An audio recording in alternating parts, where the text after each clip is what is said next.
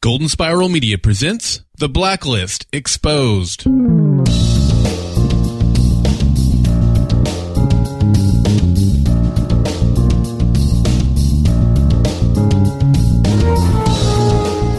Hello, special agents. You have come to the right place. Welcome to the Blacklist Exposed. I am Agent Troy Heinritz.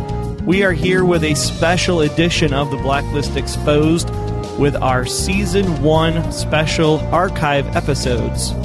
The following episode appeared on the TV Talk Network for Season 1 of The Blacklist, and we're bringing it to you here on the Blacklist Exposed, remastered and used with permission from TV Talk.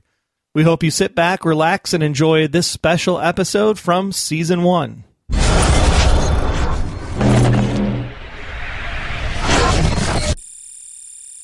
You're tuned in to TV Talk The Blacklist.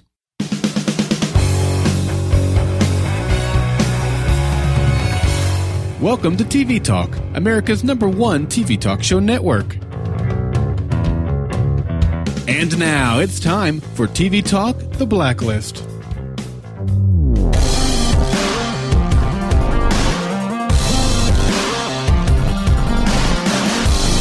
After 17 episodes, all it took was Uncle Flippo's flashing butt to light the way to the truth. Welcome to TV Talk The Blacklist. I'm Troy. And I'm Dave, here to discuss number 88 on the blacklist, Ivan, airing March 24th, 2014. Hey, TV Talk listeners, amazing news. You can now get great rewards just for watching your favorite TV shows and listening to music. Use Viggle to check into any TV show or song and earn Viggle points. Redeem for music and movie downloads, gift cards, electronics, and more.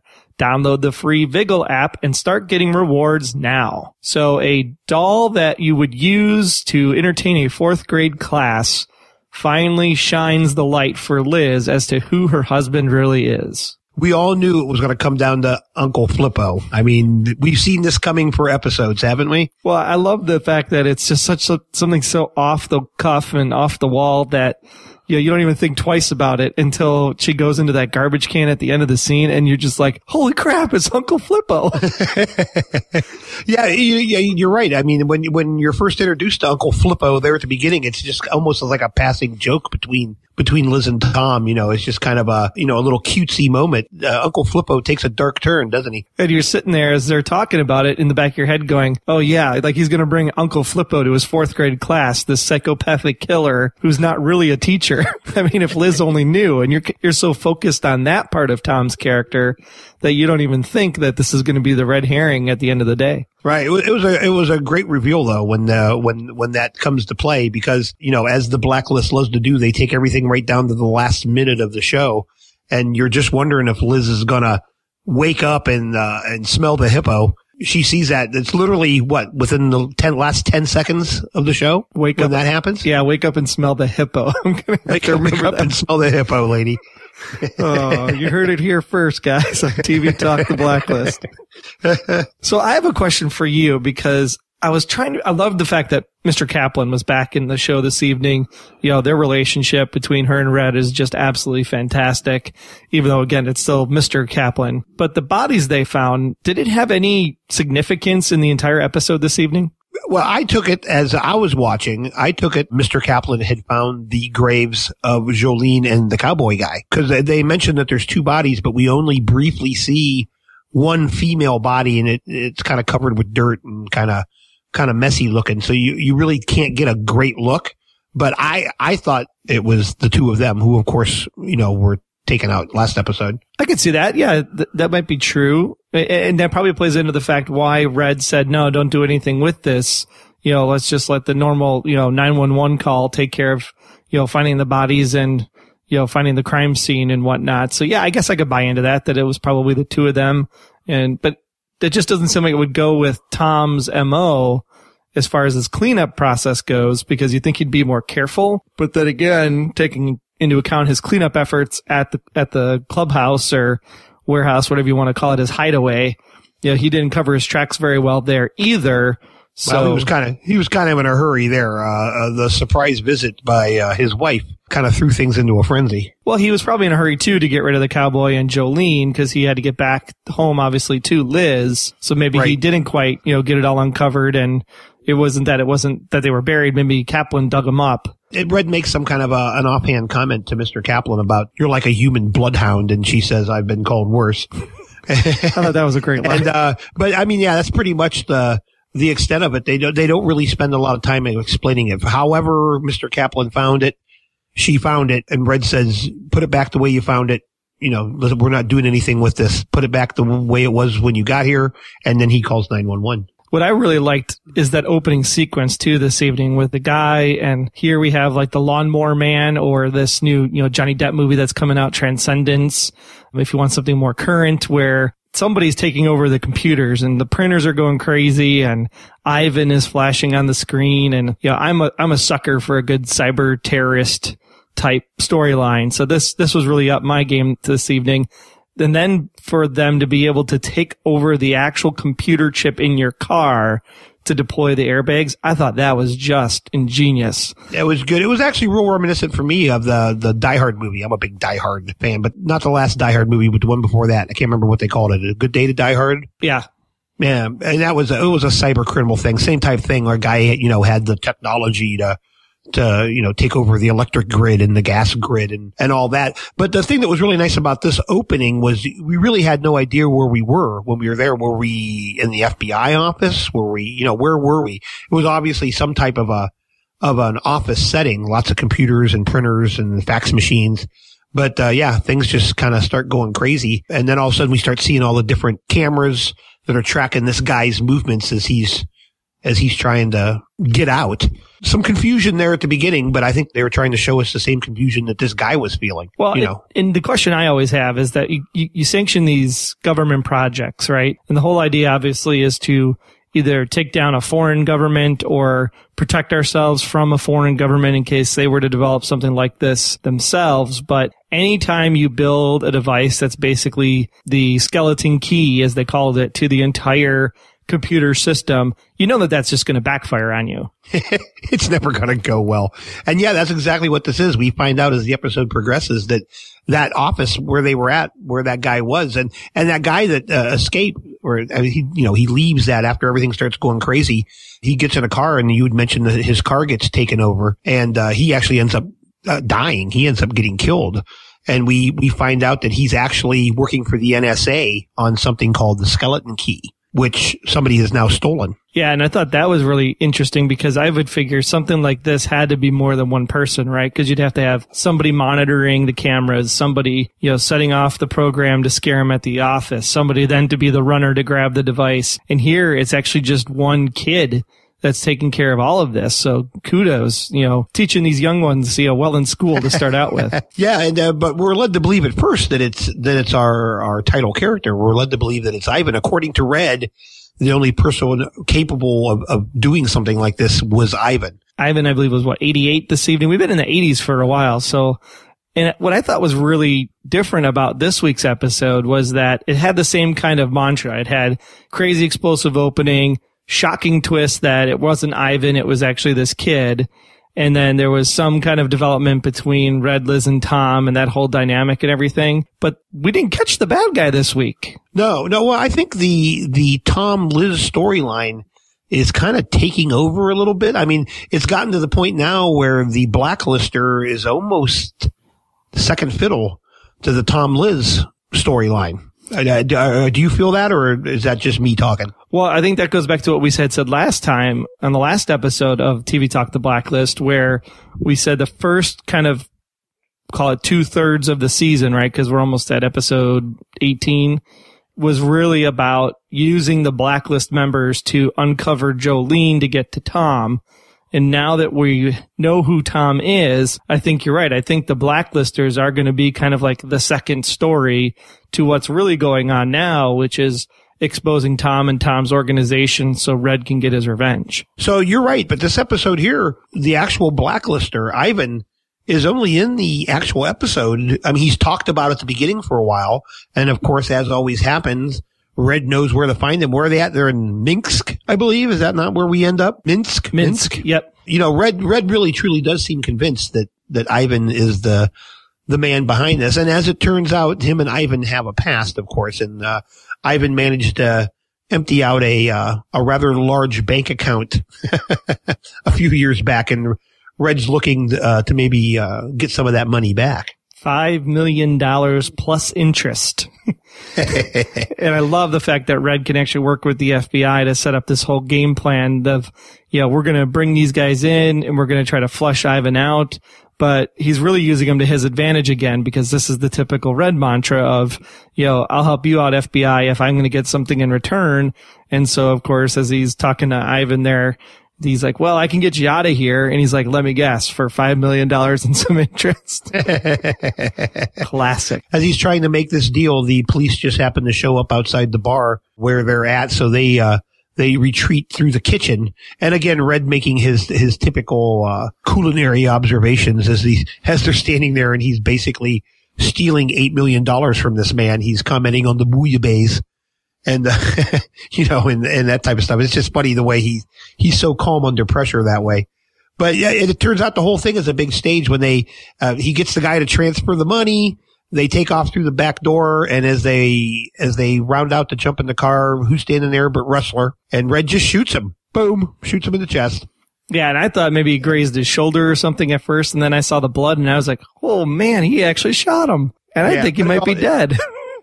It all turns out to be a big ruse. They're they're trying to get Ivan to play along. It was all you know, obviously a blank and you know a squib, and they're like, "Do you, do you think he bought it?"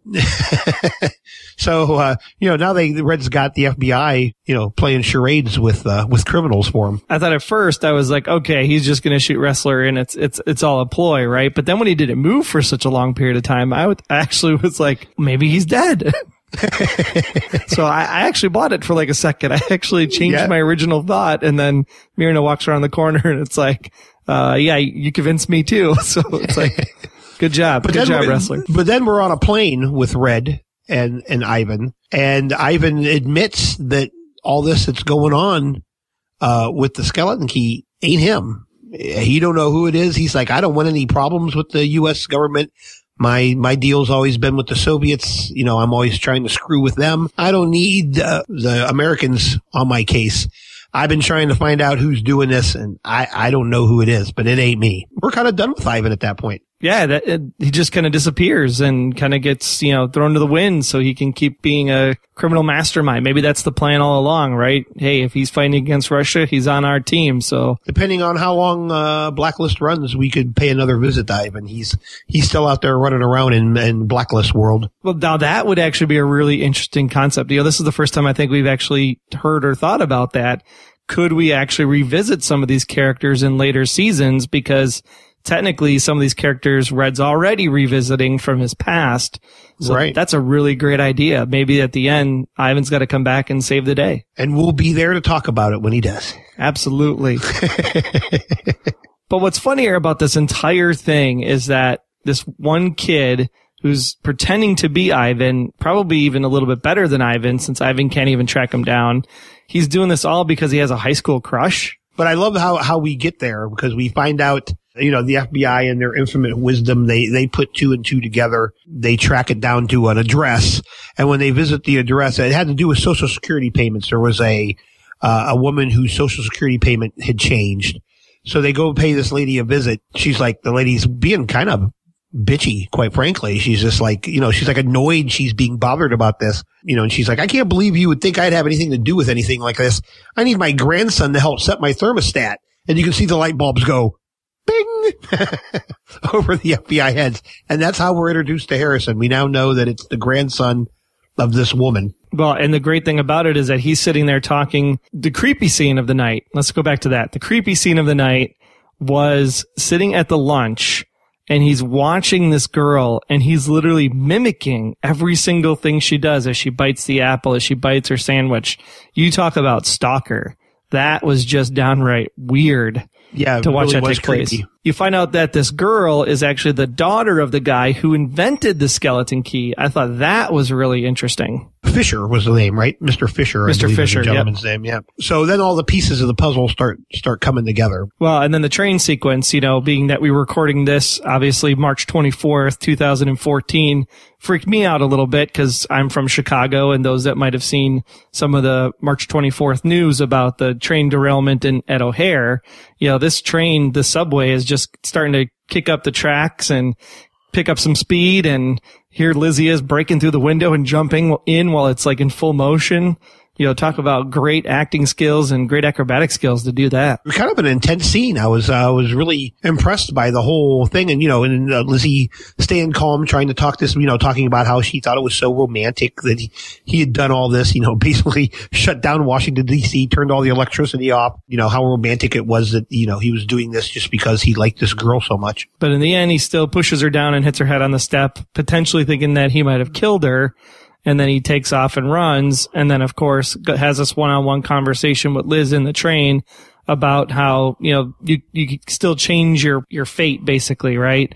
And so he Right. kicks on those brakes and you're like, oh my gosh, why don't you slow down the train and do the brakes? Why are you just doing the brakes only? Yeah, because he had this thing really rolling. I mean, this thing was doing a, a taking a Pelham one two three type thing. I mean, this this thing was chipping down the tracks, and you know, we're told through a series of radio communiques that you know there's only what five thousand foot left of track left or something, and uh, you know they definitely play up that tension of you know will it stop on time? Can it stop on time? In the end, all is well. They do get it stopped. The girl gets reunited with her father in a special heart-warming, heartwarming blacklist moment. And I thought that was kind of a really telling scene too. The daughter is reunited with the dad.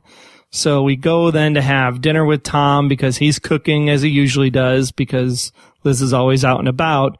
And there was a scene earlier in the evening where Tom is actually talking to his wife. And I believe the line was something to the effect of, you can never know people, can you? And he was saying that to Liz, obviously when they found out about Jolene. So it's like Tom is like literally telling her, you know, you can, you can't trust people. You don't even, even me, you know, so he's using this line. And then of course she is going through these pictures and then finds, you know, the hippo, Uncle Flippo in the garbage. And then we basically have her kind of break down and start playing back all of Red's conversations. So she goes and runs to Red, which is when we get to find out what Red's been working on this entire episode. he's been crafting something. We we don't see what it is, but he's you know he's building this this thing every time it comes. And she you know she's interested in every time. She's always says you know what are you doing? What are you up to? And you know he always just keeps kind of playing it off. But uh, again, a really nice little formula that worked through the whole show, kind of tied the whole show together. And then here in this last scene, we see that he's actually building a music box. And then earlier in the episode, she kind of is like the, you know, you're not going to tell me the truth and I'm done with you. I'm walking out of here like a daughter would be yelling at her dad. So now we're back to this whole is, is Red Liz's father. And so she sits down and then she hears this music box playing and she's like, man, I know that song, you know, and then all of a sudden we start getting the backflash of the fire. She talks about her dad used to hum that song and tell her that everything was going to be all right. And then she's like, know, you were right about Tom. And she starts to break down. Red holds her and basically Red just says, you knew, you knew this whole time. You knew the song. You knew about Tom and you knew. And she starts crying. And then Red says, everything is going to be all right. Right. He just basically repeats back the exact words, word for word, for what she just said her father used to tell her when, while humming that song when she was upset. You know, it, it was interesting because I watched tonight's episode with a couple family members and it was interesting uh, watching the different interpretations of this ending that we all walked away with. Well, I think it was the final line that Red said, right? Because not only did he say everything was going to be all right, then he says it again. It's going to be all right. My recollection is he said, you're going to be all right. I think he said it twice. I think was what it Yeah, was. He that like, could he- be. yeah, he finished Liz's statement, right? Like she was like, you knew the music, you knew that what my dad was going to say, which was everything was, is going to be all right. Right. And then he says, as he like, you know, strokes her hair there, he's like, it is going to be all right. So Yeah. I think that's where the interpretation, I saw, was looking at Twitter, Get Glue or TV Tag and a bunch of other places, zeebox, and they were all like, some people are like, oh my gosh, we just got confirmation, you know, you know, Red's the father. This is totally it. You know, they just spilled it out. And I think you and I were talking before we recorded. Eh, you know, it's not Yeah, they, they spelled didn't out. admit they didn't admit to nothing. They actually admitted to nothing. They uh, they certainly insinuated, much like Red likes to control people's actions and thoughts. I, I definitely think that we may be getting controlled here a bit to believe something that may not be true. But I don't know. I, that that's what makes this show so great. And you know what really makes this show great? The fans, because our talkback question tonight is for all of you. Did tonight's final scene confirm or deny Red and Liz's relationship? What say you? Answer this question right now. You can do it with the free TV Talk app for iOS and Android. Head on over to tvtalkapp.com to get the full TV Talk experience because we want to know, are you on the side of this confirms that Red is the father or are you on the side of Red is doing everything he can to basically rekindle a father-daughter relationship to make up for the one that he lost? I can't wait for the talkbacks this week. I, I, I really want to know what the fans think. And don't forget to head over to tvtalk.com slash win to be entered in the weekly prize drawing, as well as share with all your friends on Twitter and Facebook that you listen to TV Talk and TV Talk The Blacklist. The show's not done yet. The talkback clips are coming up next. Go deeper into the mystery of the blacklist with other fans just like you. We will talk at you again next week. Until then, I'm Troy. And I'm Dave, disconnecting myself from the grid so I don't end up on The, The Blacklist. And now it's time for this week's Talkback Clips.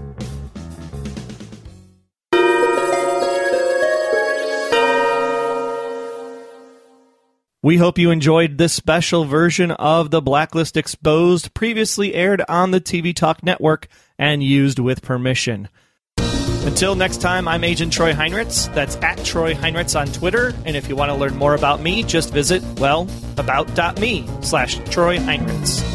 And I'm Agent Aaron Peterson. You can hear me talking about movies and TV on the Hollywood Outsider podcast, as well as Remake This Movie Right. We are available at thehollywoodoutsider.com or on Twitter at H underscore outsider. Be sure to subscribe, download the app, submit your feedback, but most importantly, keep yourself off of The Blacklist. The